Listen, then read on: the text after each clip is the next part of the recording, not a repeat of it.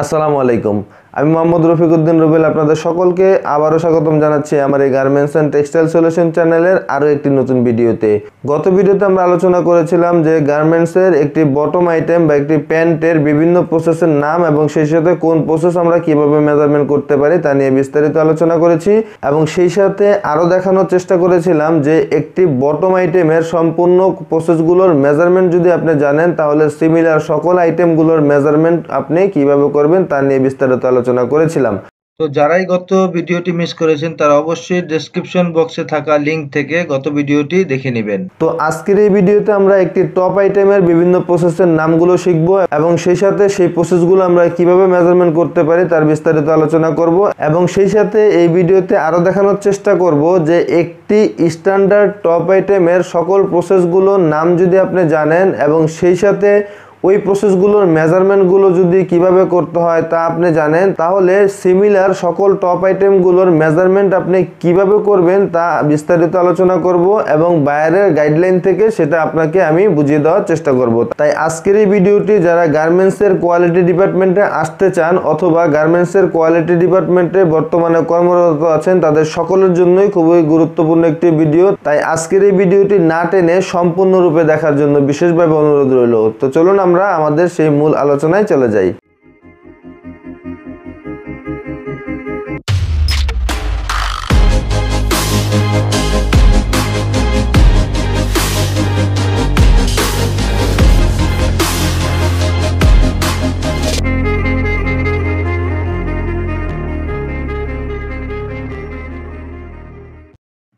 প্রথমে আপনি যে গার্মেন্টসটি মেজারমেন্ট করতে যাবেন, সেই গার্মেন্টসটির সাইজটি কত তা ভালোভাবে নিশ্চিত হয়ে নিতে হবে। এবং সাইজ নিশ্চিত হওয়ার পর মেজারমেন্ট শিটে যে সাইজটি আপনি মেজারমেন্ট করবেন সেটির দিকে লক্ষ্য রাখতে হবে।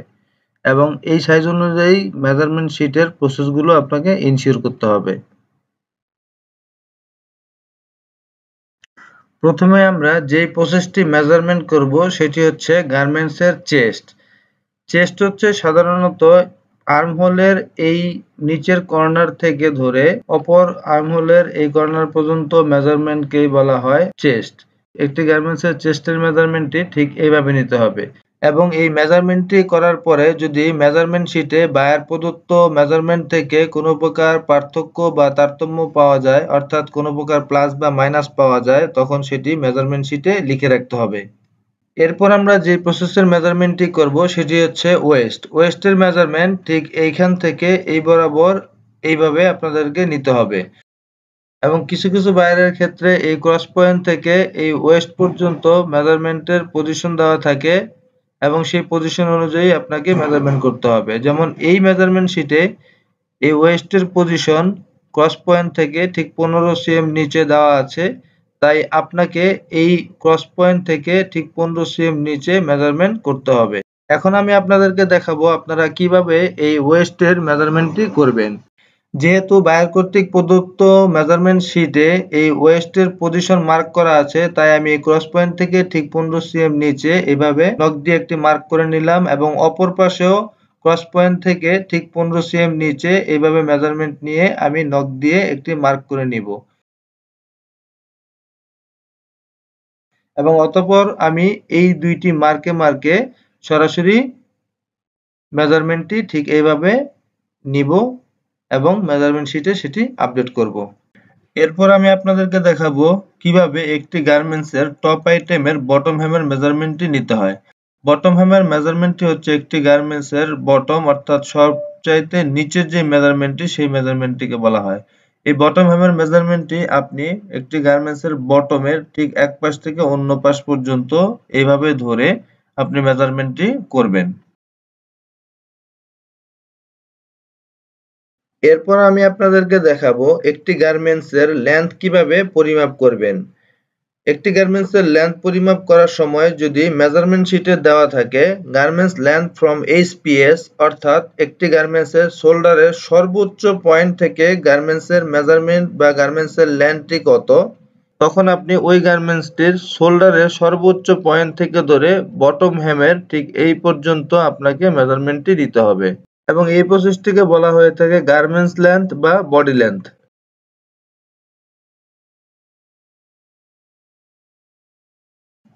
এরপর যে প্রসেসটি দেখাবো সেটি হচ্ছে স্লিভ লেন্থ।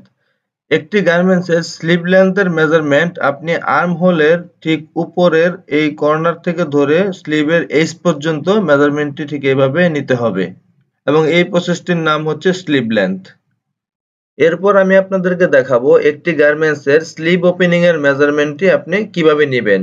স্লিভ ওপেনিং এর মেজারমেন্ট বলতে বোঝানো হয়েছে যে কোনো shirt T shirt polo shirt বা লং স্লিভ বা শর্ট স্লিভ শার্টের হাতার খোলা মুখটির এক পাশ থেকে অন্য পাশের মেজারমেন্টটিকে এবং এই স্লিভ ওপেনিং এর মেজারমেন্টটি আপনি একটি স্লিভের খোলা মুখের এক প্রান্ত থেকে অন্য প্রান্ত পর্যন্ত মেজারমেন্ট ট্যাপ ধরে ঠিক এইভাবে নিবেন। এরপর আমরা যে প্রসেসটি মেজারমেন্ট করব সেটি হচ্ছে আর্মহোল স্ট্রেট আর্মহোল স্টেট এর মেজারমেন্টটি আপনাকে আর্মহোলের এই ক্রস পয়েন্ট থেকে ধরে আর্মহোলের অপর প্রান্ত পর্যন্ত সরাসরি সোজাভাবে এইভাবে আপনাকে নিতে হবে এবং এই প্রসেসটিকেই বলা হয়ে থাকে আর্মহোল স্টেট। এরপর আমরা যে প্রসেসটি মেজারমেন্ট করব সেটি হচ্ছে বাইসেফ বাইসেফের মেজারমেন্টটি খুবই গুরুত্বপূর্ণ একটি মেজারমেন্ট, কেননা বিভিন্ন জায়গায় আপনারা কোয়ালিটি বা টেকনিক্যাল ডিপার্টমেন্টে ইন্টারভিউ দিতে গেলে প্রায়ই এই প্রশ্নটির সম্মুখীন আপনারা হতে পারেন। তাই এই বাইসেফের মেজারমেন্টটি সম্পর্কে জানা আমাদের সবার জন্যই জরুরি। বাইসেপের মেজারমেন্ট করতে গেলে প্রথমে গার্মেন্টসটিকে খুব সুন্দরভাবে বিছিয়ে নিতে হবে। তবে যতদূর সম্ভব স্লিপটিকে খুব ভালোভাবে টেবিলের মধ্যে বসিয়ে নিতে হবে। অতপর ওই গার্মেন্টসটির ক্রস পয়েন্ট থেকে সরাসরি মাসেলের দিকে ঠিক এইভাবে মেজারমেন্ট ট্যাপ ধরে যে মেজারমেন্টটি নেওয়া হয়, সেই মেজারমেন্টটিকে বা সেই প্রসেসটিকে বলা হয়ে থাকে বাইসেপ আপনাদের সকলের বোঝার স্বার্থে আমি স্লিভের এই তিনটি মেজারমেন্টটি আপনাদেরকে আবারও দেখাচ্ছি। আর্ম হোলের এই ক্রস পয়েন্ট থেকে স্ট্রেট যদি আর্ম হোলের অপর প্রান্ত পর্যন্ত আমরা মেজারমেন্ট নেই, সেটিকে আমরা বলব আর্ম হোল স্ট্রেট এবং এই আর্ম হোল থেকে সরাসরি উপরের দিকে, অর্থাৎ আমাদের মাসেলের দিকে যদি আমরা মেজারমেন্টটি ঠিক এভাবে নেই, সেটিকে আমরা বলব বাইসেপ। এই বাইসেপকে আবার অনেক বায়ার মাসেলও বলে থাকে। এবং স্লিভের এক প্রান্ত থেকে অন্য প্রান্তের এই মেজারমেন্টটিকে বা এই প্রসেসটিকে বলা হয়ে থাকে স্লিভ ওপেনিং। এরপরে আমি আপনাদেরকে যে প্রসেসের মেজারমেন্টটি দেখাবো সেটি হচ্ছে অ্যাক্রস ফ্রন্ট এই অ্যাক্রস ফ্রন্টের মেজারমেন্টটি একটি গার্মেন্টসের ফ্রন্ট পার্টের একটি আর্ম হোলের মিডল পজিশন থেকে অপর আর্ম হোলের মিডল পজিশন পর্যন্ত এইভাবে সরাসরি মেজারমেন্টটি নিতে হয়। এরপর আমরা যে প্রসেসটি মেজারমেন্ট করব সেটি হচ্ছে shoulder to shoulder shoulder to shoulder এই মেজারমেন্টটি হচ্ছে একটি শোল্ডারের এই পয়েন্ট থেকে এই পয়েন্ট পর্যন্ত, অর্থাৎ একটি শোল্ডারের এন্ড পয়েন্ট থেকে অপর শোল্ডারের এন্ড পয়েন্ট পর্যন্ত যে মেজারমেন্ট সেটিকে বলা হয় শোল্ডার টু শোল্ডার এই শোল্ডার টু শোল্ডারের মেজারমেন্টটি এইভাবে সরাসরি এক শোল্ডার পয়েন্ট থেকে অন্য শোল্ডার পয়েন্ট পর্যন্ত নেওয়া হয়ে থাকে। এখন আপনাদেরকে আমি দেখাবো কীভাবে নেক উইথ মেজারমেন্ট করতে হয়। এই নেক উইথ মেজারমেন্টের ক্ষেত্রে যদি মেজারমেন্ট শিটে লেখা থাকে আউটার নেক উইথ ওই ক্ষেত্রে আপনাকে এক শোল্ডার থেকে অন্য শোল্ডারের ইনার পয়েন্ট পর্যন্ত, অর্থাৎ নেক এরিয়াতে এক শোল্ডার থেকে অন্য শোল্ডারের ইনার পয়েন্ট পর্যন্ত আপনাকে মেজারমেন্ট করতে হবে। অর্থাৎ নেকে যে রিপ থাকবে, সেই রিপটাকে বাদ দিয়ে মেজারমেন্ট করতে হবে। কিন্তু যদি মেজারমেন্ট শিটে লেখা থাকে যে ইনার নেক উইথ তখন আপনাকে এই রিবের এক প্রান্ত থেকে অন্য প্রান্ত পর্যন্ত মেজারমেন্ট করতে হবে। তো চলুন আপনাদেরকে নেক উইথের এই দুইটি মেজারমেন্টটি আমি করে দেখাচ্ছি। এই নেক উইথের এই রিপটি ছাড়া এক পাশ থেকে অন্য পাশের এই মেজারমেন্টটিকে বলা হয় আউটার নেক উইথ এবং যখন আমি রিবের এই প্রান্ত থেকে এই অপর প্রান্ত পর্যন্ত মেজারমেন্ট নিব, তখন এটাকে বলব আমরা inner neck with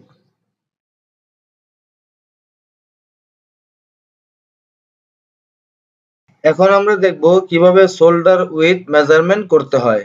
arm whole ও শোল্ডারের এই পয়েন্ট থেকে ধরে নেক শোল্ডারের এই পয়েন্ট পর্যন্ত এরিয়াকে বলা হয়ে থাকে শোল্ডার উইথ এই শোল্ডার উইথটার মেজারমেন্টটি আপনাকে ঠিক এইভাবে মেজারমেন্ট টেপ ধরে করতে হবে। এখন আপনাদেরকে আমি যে প্রসেসটি মেজারমেন্ট করে দেখাবো, সেটি হচ্ছে নেক ড্রপ বা নেক ডেপথ বা নেকের গভীরতা। এই নেক ড্রপ মাপার ক্ষেত্রে আপনাকে প্রথমে মেজারমেন্ট ট্যাপ বা স্কেল দিয়ে এই নেকের এইচ থেকে ধরে বা নেকের সর্বশেষ প্রান্ত থেকে ধরে সোজা একটি দাগ দিয়ে নিতে হবে। এটি আপনি এইভাবে নখ দিয়ে দাগটি দিয়ে নিতে পারেন। অতপর আপনি এই স্পেস বা হাই শোল্ডার পয়েন্ট থেকে ধরে এই দাগ পর্যন্ত যে মেজারমেন্টটি পেয়েছেন, এটিকে আমরা বলব নেক ড্রপ তবে যারা মেজারমেন্টে এক্সপার্ট তারা এই মেজারমেন্টটি করার সময় এই এইচপিএস বা হাই শোল্ডার পয়েন্ট থেকে এইভাবে মেজারমেন্ট টেপটিকে ধরে এই নেকের এজ বা নেকের সোজাসুজি আঙ্গুল রেখে এইভাবে মেজারমেন্টটি করে থাকে। এভাবে করার পর যদি মেজারমেন্ট শিটে যেই মেজারমেন্টটি দেওয়া আছে তার সাথে মিলে যায়, তাহলে মেজারমেন্টটি ঠিক আছে। আদারওয়াইজ যদি প্লাস বা মাইনাস হয়, তাহলে সেই ক্ষেত্রে সেভাবে রিপোর্টে আপডেট করতে হবে।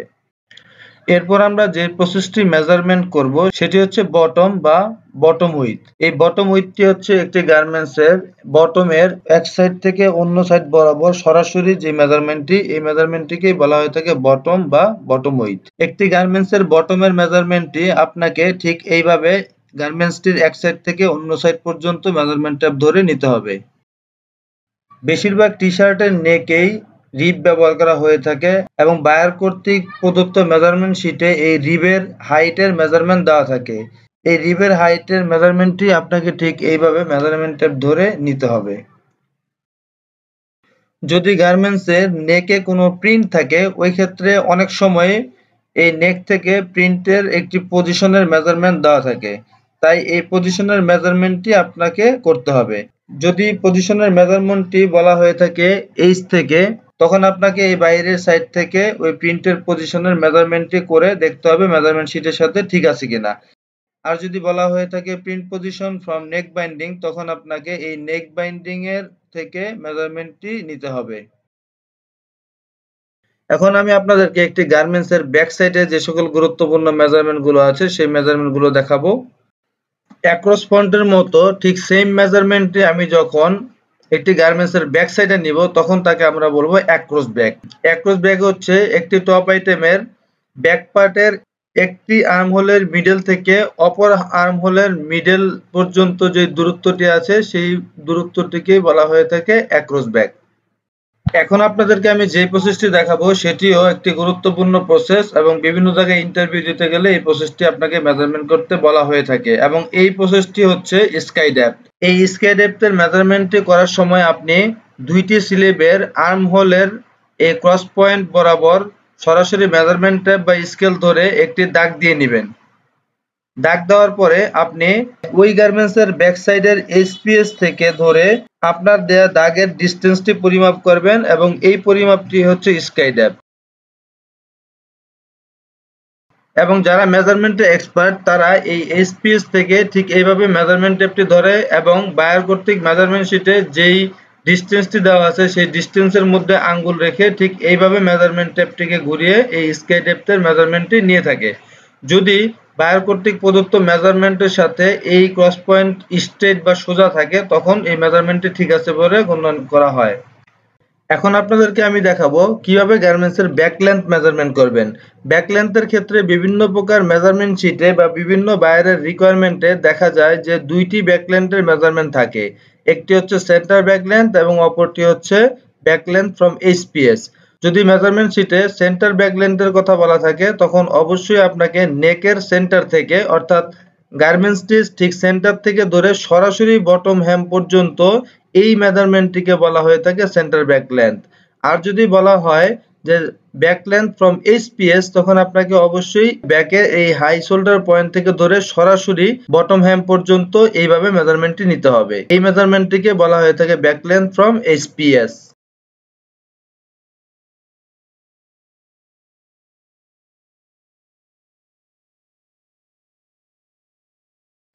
এখন আমি আপনাদের কনফিডেন্টটাকে গ্রো করার জন্য আবারও অন্য একটি গার্মেন্টসের সাথে খুব সংক্ষেপে এই গার্মেন্টসটির প্রসেসগুলোর কম্পেয়ার করব। আমি একটি নতুন টি শার্ট নিলাম। এই টি শার্ট এবং এই টি শার্টের মধ্যে দেখেন প্রসেসের কোনো ভেরিয়েশন নাই।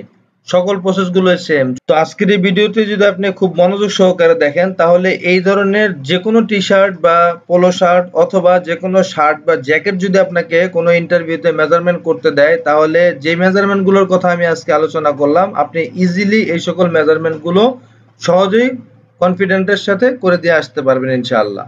এতক্ষণ পর্যন্ত আমি আপনাদেরকে যে গার্মেন্টস এর প্রসেসগুলো নিয়ে মেজারমেন্ট করে দেখালাম, সেটি ছিল একটি রাউন্ড নেক স্টাইলের টি শার্ট এখন আমি একটি ভিনেক স্টাইলের একটি টি শার্ট নিলাম। এবং এই টি শার্টের সকল প্রসেসগুলো আগের টি শার্টের মতোই শুধুমাত্র নেকটি ছাড়া। এটি হচ্ছে রাউন্ড নেক আর এটি হচ্ছে ভি নেক আর বাকি অন্যান্য সকল মেজারমেন্ট প্রসেসগুলোরই মেজারমেন্ট সেম তাই যারা নতুন, তাদের হতাশ হওয়ার কিছু নেই। আপনি সকল প্রসেসগুলো যদি আগের মতোই মেজারমেন্ট করেন এবং শুধুমাত্র এই নেকটাকে আপনি কীভাবে মেজারমেন্ট করবেন, তা যদি আপনি ধারণা রাখেন, তাহলেই আপনি এই গার্মেন্টসটিতেও মেজারমেন্টে ঠেকবেন না। তাই যারা নতুন বা নেকের মেজারমেন্টটি কীভাবে করবেন এখনও ভাবছেন, তাদের উদ্দেশ্যে আমি আবারও এই নেক পয়েন্টের যে মেজারমেন্টগুলো আছে, সেগুলো আপনাদেরকে আরও একবার দেখিয়ে দিচ্ছি। যাতে করে আপনারা যে কোনো স্টাইলের, যে কোনো গার্মেন্টসই খুব সহজে মেজারমেন্ট করতে পারেন। তো চলুন আমরা আবার আরও একবার নেকের মেজারমেন্টগুলো দেখি। নেকের এই এক পাশ থেকে অন্য পাশের এই মেজারমেন্ট বা এই প্রসেসটিকে বলা হয়ে থাকে নেক উইথ বা নেক ওপেনিং এই নেক ওপেনিং এর দুইটি মেজারমেন্ট থাকে, একটি হচ্ছে আউটার নেক উইথ এবং অপরটি হচ্ছে ইনার নেক উইথ যদি মেজারমেন্ট শিটে উল্লেখ করা থাকে আউটার নেক উইথ তাহলে আমাদেরকে এই রিপটি বাদ দিয়ে মেজারমেন্ট করতে হবে। আর যদি লেখা থাকে ইনার নেক উইথ তাহলে আমাদেরকে এই প্রসেসটি মেজারমেন্টের সময় এক রিবের প্রান্ত থেকে অন্য রিবের প্রান্ত পর্যন্ত নেকের ইনসাইডে মেজারমেন্টটি করতে হবে। এরপর যে প্রসেসটি আছে, সেটা হচ্ছে নেক ড্রপ এই নেক ড্রপ মেজারমেন্টের ক্ষেত্রে আমাকে নেকের এই এস পর্যন্ত একটি সোজা দাগ দিয়ে নিতে হবে এবং হাই পয়েন্ট শোল্ডার থেকে বা এসপিএস থেকে আমি সরাসরি এইভাবে ওই ডিস্টেন্স পর্যন্ত বা ওই দাগ পর্যন্ত যে মেজারমেন্টটি পাবো, সেটি হচ্ছে নেক ড্রপ সকল আইটেমের নেক ড্রপ অর্থাৎ ফ্রন্ট নেক ড্রপ বা ব্যাক নেক ড্রপ আপনারা এই পদ্ধতিতে মেজারমেন্ট করতে পারবেন। তবে আপনি যদি মেজারমেন্টে এক্সপার্ট হয়ে যান, তাহলে আপনি এভাবেও নেক ড্রপের মেজারমেন্টটি করতে পারবেন। এছাড়াও আপনি নেক ড্রপের মেজারমেন্টটি যদি দাগ দিয়ে করতে চান, তাহলে যে কোনো আইটেমের নেক ড্রপই আপনি এইভাবে দাগ দিয়ে খুব সহজে করতে পারবেন। যা ইতিপূর্বে আমি এই ভিডিওতে আপনাদেরকে দেখিয়েছি।